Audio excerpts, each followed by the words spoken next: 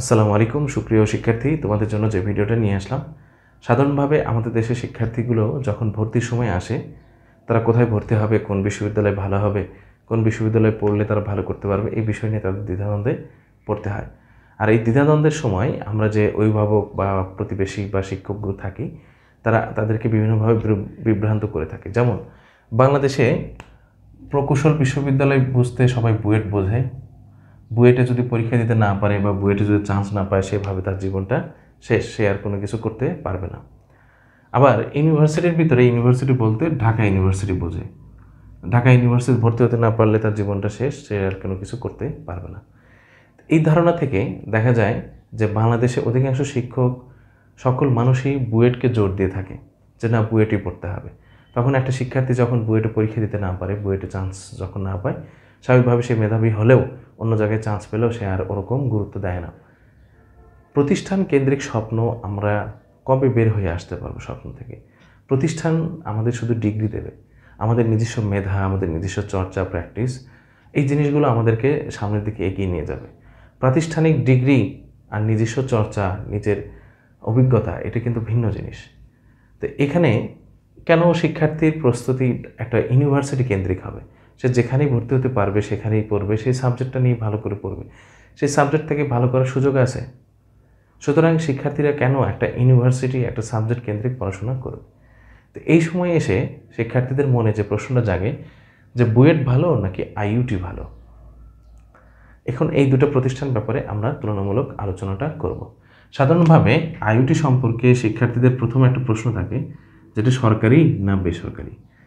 এটা বলব যে এটা সরকারি, বেসরকারি দুটার চেয়ে গুরুত্বপূর্ণ হচ্ছে এটা একটা ইউনিভার্সিটি ইন্টারন্যাশনাল মানে ইউনিভার্সিটি যেখানে বাংলাদেশের শিক্ষার্থী পড়ার সুযোগ পায়, যেখানে অন্যান্য দেশের শিক্ষার্থীরাও পড়ার সুযোগ পায়। তো এখানে এই যে আইইউটি, এটা ওআইসি থেকে পরিচালিত একটা ইসলামিক অর্গানাইজেশন থেকে এবং ইসলামী দেশগুলোর শিক্ষার্থীগুলো এখানে পড়ার সুযোগ পায়। তো সেখানে একটা শিক্ষার্থী ভর্তি হওয়ার পূর্বে চিন্তা করে যে আইইউটি ভালো না বুয়েট ভালো? তুমি যদি কোনো অভিভাবককে জিজ্ঞেস করো যে আইইউটি ভালো না বুয়েট ভালো? তাহলে সবাই দেখা যাবে বাংলাদেশে, ভোট দেবে হচ্ছে বুয়েটে। কেন? কারণ হচ্ছে তারা বুয়েট সম্পর্কে জানে যে এটা সরকারি, এটা বাংলাদেশের প্রতিষ্ঠান, এটা। কিন্তু আইইউটি ব্যাপারে গুরুত্ব দেবে না। কিন্তু এখানে তোমার যিনি যে বিষয়টা খেয়াল রাখতে হবে, সেটা হচ্ছে প্রতিষ্ঠানের ভিতরে কোন প্রতিষ্ঠানে সিনিয়র টিচার, ভালো টিচার, বন্ধুসুলভ টিচার আছে, কোন ইউনিভার্সিটিতে ল্যাব ফ্যাসিলিটি ভালো আছে, কোন ইউনিভার্সিটিতে পিএইচডি ডিগ্রির টিচার ভালো আছে, কোন ইউনিভার্সিটির স্কলারশিপ সুবিধা বেশি। এই বিষয়গুলো তোমাকে মাথায় রাখতে হবে।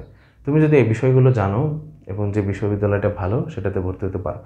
সাধারণভাবে দেখা যায় যে অনেকে আমরা আইউটিতে ভর্তি হতে শিক্ষার্থীদের ডিসকারেজ করে থাকি যে আইউটিতে পুরোনা বা আইউটিতে ভর্তি হয়ে নেওয়ার চেয়ে বুয়েট অনেক ভালো। ভালো বলে কথা নেই, কোনো প্রতিষ্ঠান ভালো নয়। প্রতিষ্ঠানের শিক্ষক এবং শিক্ষার্থী ভালো। সুতরাং তোমাকে এই দুই প্রতিষ্ঠানের ভিতরে ভর্তি হতে গেলে চিন্তা করতে হবে যে কোন প্রতিষ্ঠানে ল্যাব ফ্যাসিলিটি টিচার এগুলো ভালো, সেই প্রতিষ্ঠানে তোমার ভর্তি হতে হবে। তুমি যদি চিন্তা করো যে হ্যাঁ চান্স পাওয়ার পরে না, অমুক জায়গায় ভর্তি হব না, আমার টিচার মানা করেছেন বা আমার পাড়ার প্রতিবেশী মানা করেছেন, তাহলে তুমি হচ্ছে একটা কুয়োর ব্যাঙের মতো কাজ করলে। কারণ হচ্ছে, কুয়োর ব্যাংরা কিন্তু বেশি দূর জানার চেষ্টা করে না। তুমি নিজে জানার চেষ্টা করো, কোন প্রতিষ্ঠানের অবস্থান কেমন। তোমার মধ্যপ্রাচ্য বা বিভিন্ন ইসলামিক দেশগুলোতে আইওটির ইঞ্জিনিয়ারদের চাহিদা অনেক বেশি। আবার বুয়েটের চাহিদাও সারা বিশ্বেও আছে। সুতরাং সব প্রতিষ্ঠানই ভালো যদি নিজে ভালো করা যায়।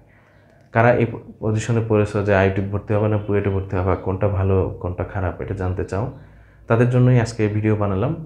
তোমরা কোন বিষয়ে ভিডিও দেখতে চাও কমেন্ট করে জানাবা। আজকে এই পর্যন্তই। আসসালামু আলাইকুম।